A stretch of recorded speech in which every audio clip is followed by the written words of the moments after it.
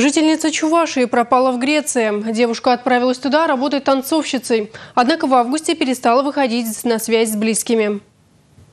5 ноября на одном из федеральных телеканалов вышел сюжет о безвестном исчезновении в Греции 21-летней жительницы города Алатырь. Родственники и близкие этой девушки полагают, что в отношении нее могли быть совершены какие-либо противоправные действия. В связи с этим следственные органы начали доследственную проверку. Следователями планируется проведение всего комплекса необходимых проверочных мероприятий, направленных на установление э, всех обстоятельств произошедшего, а также местонахождения девушки.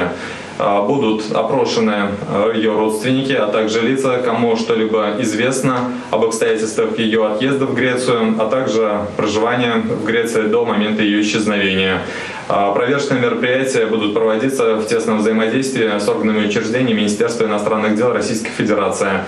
По результатам проверки будет принято процессуальное решение. Степанова Екатерина, Республика.